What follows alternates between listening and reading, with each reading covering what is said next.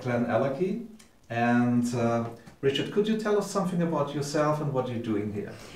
Uh, I'm the operations director. Um, I'm fortunate to have joined the project at the beginning of its um, life. Um, I had a history in the industry, left Heriot-Watt University, having studied for several years, worked in research, and then moved on to the brewing course at the ICBD. Um, then moved into a small, uh, one of the one of the distilleries you would call craft nowadays, but maybe one that was really unusual to have been built in the 90s. Uh, I worked as the brewer, spent some time learning the process, learning the, the issues that are involved in the running of a distillery, and then gradually um, became the assistant manager and the manager and ran it for a number of years.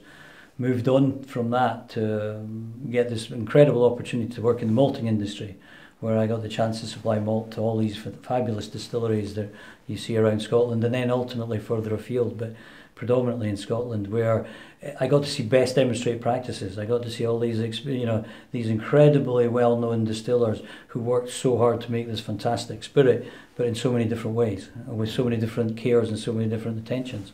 Uh, and then on to engineering and work for Briggs, the supplier of the mash tun to um, Glenlivet, Macallan, um, Cooley, for example, um, and engineering solutions throughout the industry to the brewing industry as well. Uh, that gave me a little bit more knowledge of that sector. And then ultimately, for a little while, I worked at Mossburn Distillers, which is a really incredibly interesting uh, company that have a project to build a nice distillery in the borders. They've just finished building one on Skye, the second one on Skye. So now the label should say not the only distillery in Skye when you see that for the, the other distillery there. Um, and then they were doing some project work to build a distillery in Japan as well. So I got a little bit involved in that. Then Billy knocked on the door and said, I have a small project that might be of interest. And when you first saw this distillery here with all your background, what were your first thoughts? Uh, it, it's it's special. It's it's got that history. It's got that provenance. There was some real thought put behind the design. Probably we talk about the special and the special points of the distillery. For me, is the fact that that close interconnection with the brewing sector. It's a sister uh, sister process. But actually the designer took an awful lot of good value from the brewing sector very early on and imparted that into the distillery to, to allow it to develop its character. He'd developed a few distilleries beforehand hmm. um, and this I think was the culmination of that. It's a very efficient distillery. It has its own um, distinct characters. It has horizontal condensers, which are unusual for the industry but not unique, um, which allow us um, a little bit of uh, extra process control or easier extra process control for us. Um, it has big big stills for its size and they're big, bold, robust spirit. It's not typically Speyside. It's um, it's more rich. It's uh, heavier ester notes. It's more depth, more character, I think, uh, which allows uh, us to play a lot of tunes in the maturation. And then we're very fortunate. We have a large inventory of stock that takes maturation well. Um, so since you've took over here, have you changed anything in here? Yeah, we, the, we're a custodian of what was an incredible distillery with many special people that were involved in it over the years. Many of the key guys in the industry have had an influence in this, so they are all very good and they have imparted a really great spirit.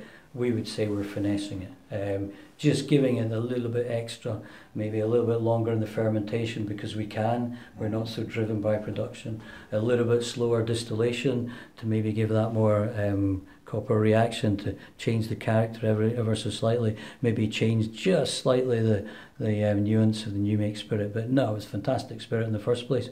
We just hopefully able to continue to get that best out of it as we go forward. And in, in the long term, is, is there a plan to to expand or to, to, to enlarge on that, or are you happy with, with what you have? Um, I, I have I have strong opinions of that. Um, uh, when I get the money, I want to try and do a little bit of research plant next to where the uh, mashing area is. I see there's a really nice area where I can put a couple of really gorgeous stills. Everybody can see them outside. I can just play some tunes before I take it to the big still. So yeah, I have yeah.